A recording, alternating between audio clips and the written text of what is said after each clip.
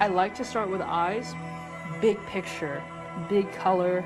If I told you the next Picasso drew on an iPad, would you believe me? I like how bold the color red is, something about it. Each stroke and blending of color and texture, all with an Apple Pencil, contrived yet fluid, and all a part of a bigger masterpiece. I try not to erase. Art is better when you can see layers or see an artist's hesitance. You can see their confidence. And as soon as one of these goes live online, it's got digital collectors offering up fortunes for the original. Oh my goodness, it's currently at $550,000.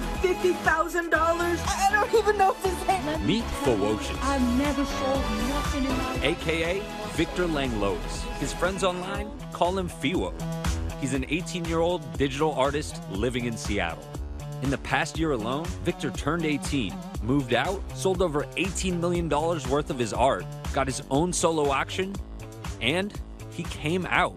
It's almost like your life kind of changed overnight. Kind of, honestly. The day after I sold my first NFT, it's it gave me that that confidence, and ever mm-hmm. since then, it's just kept growing. There's an art revolution going on, and Fewocious is at the center of it. The fact that everyone is talking about it, the fact that we're doing this, this is really surreal. The 18 year old is making bank through issuing his art as NFTs, a cryptocurrency backed system that's been one of the hottest trends of 2021. This is a very unique moment in time for art. In what initially seemed like a niche market, now everyone wants a piece. From musicians to athletes to Hollywood's biggest stars. Before we go any further, you're probably wondering what an NFT is. NFT, non fungible token. Viral moments like Disaster Girl or Charlie Bit My Finger, sports trading cards, even Jack Dorsey's first tweet, going for hundreds of thousands of dollars, even millions. And while everyone seems to be talking about it, no one seems to know what it is. Even the world's biggest auction house is getting in on it. Christie's, first breaking the record for the largest ever NFT sale with artist Beeple, whose work went for 69 million. Noah, what the heck is an NFT? Great question. Uh, it's essentially just a really unique line of code. It's an indelible and immutable creative moment in time that you own and only you can own it. In essence, the NFT serves as a digital certificate of authenticity for something online that makes it one of a kind. Explain to me that idea because, in theory, I could take a screenshot of one of your images and share it, right? Yeah, you definitely could. But the thing is, you don't have the exact token. So it's about owning the token. Why should I value the token? I don't know, it's kind of like why do you value anything? Artists like Victor are able to receive royalties for their work in perpetuity, earning a cut each time a piece is resold. Now, Christie's is hosting Victor as the youngest artist ever with a solo show. Do you think having a show like this here validates it in a way? Yeah, but I mean, it, it does absolutely for some people, um, and for other people, it will antagonize them. You know, there's something about NFTs that are super polarizing in a way that um, I can't really compare to any other movement in, in recent art history, uh, other than maybe street art. And Fewo isn't wasting any time, using his debut to flip the script on the high art world. Not just helping introduce the world to a whole new industry of NFTs, but also introducing the world to himself as Victor. Stepping out from behind the tablet screen to speak candidly about his truth for the first time as an out transgender artist. then it was just me growing up knowing that I'm not cis, but not knowing that you can be transgender. For Fewocious's show, he chose to bridge the world of digital and physical art to tell a bigger story. Titled, Hello, I'm Victor Fewocious and this is my life. It takes a look at the last five years of the artist's life, a story of self acceptance that began with denial and a lot of pain. So this is year 15. This is when a child feels lost and it shows me in a panic. That's the suicidal year. That's the worst year of my life.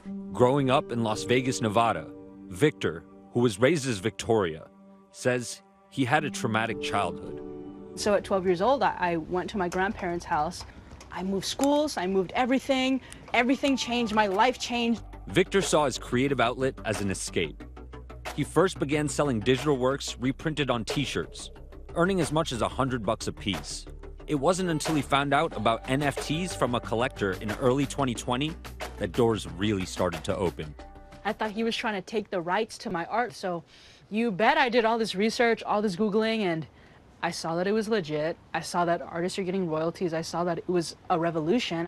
On the day of our interview, Victor's show at Christie's was announced. He also used the opportunity to come out to all of his fans as transgender. Christie's is such an honor, but also, even more than that, telling the world I'm trans, having a whole thing about being trans. It feels like I'm alive for the first time.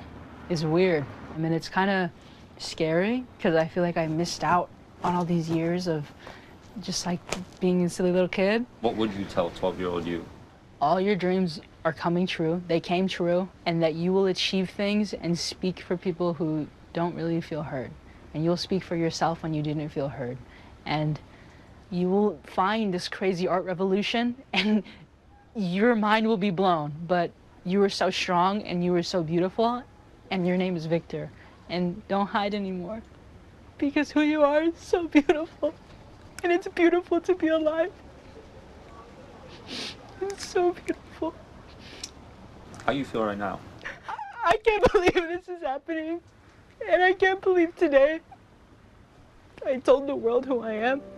And it made me really sad that I didn't have that family I could call. And I didn't have that someone I could go for a hug, a congratulatory hug. Can I give you a hug right now? Yeah. Cross country in New York, just days before the auction starts. I think it's really setting in that this is real.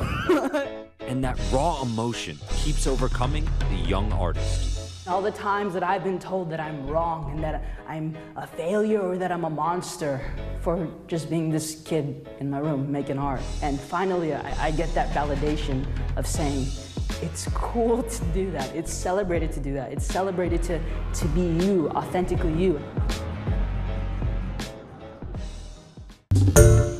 Hi everyone, George Stephanopoulos here. Thanks for checking out the ABC News YouTube channel. If you'd like to get more videos, show highlights, and watch live event coverage, click on the right over here to subscribe to our channel and don't forget to download the ABC News app for breaking news alerts. Thanks for watching.